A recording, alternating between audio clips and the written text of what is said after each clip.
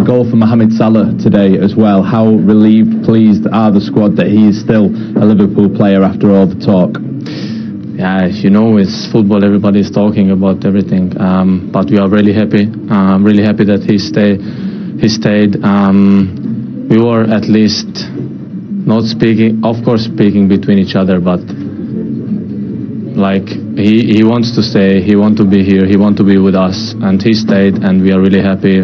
Great player, great, great person. We need some some guys in the team like him. We, we block that out, you know, and uh, you know Mo blocks it out, and everyone else, you know, we let other people talk about that and everything like that. But you know, our squad, you know, is what it is, and that's you know that's the squad that's going to go forward now. That you know, with the window shut and everything like that. And um, yeah, it's about getting the most out of the squad. It's about looking forward to the season ahead and, and obviously trying to do better than um, what we did uh, last season. Yeah, like he's the ultimate professional. He does he does what he does. He's he's you know one of the best players in the world, and um, you know he's professional. So look, he lets other people do the talking. He lets other people do you know say what they have to say. But he's always been committed to Liverpool. We, you know I think you've seen that today with the performance he put in, and um, so. Um, Are you concerned?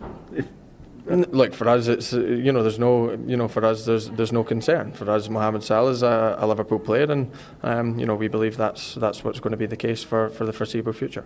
During the whole week, besides answering questions about it, uh, but not from people inside, just from people outside. So I have no clue. Nobody came to me and told me something could happen or whatever on Friday. Nothing, and um, I'm pretty sure I would have got a call, um, but I didn't and Mo didn't look for a second like he thought about anything else than about Aston Villa.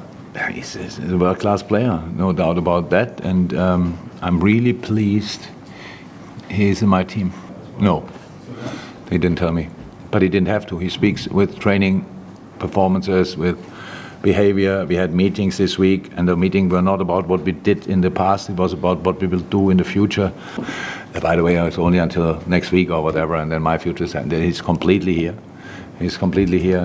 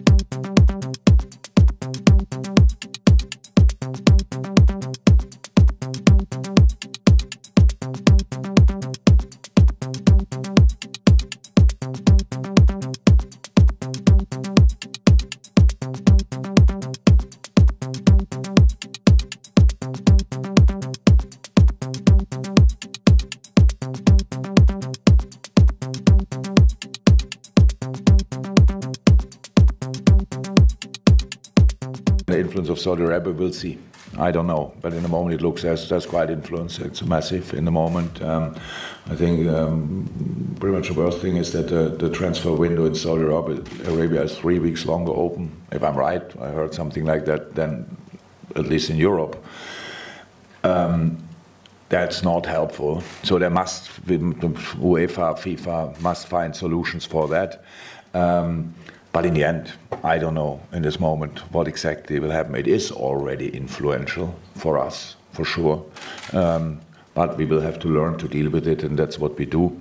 Um, and yeah, that's pretty much all I can say about it. Time will show.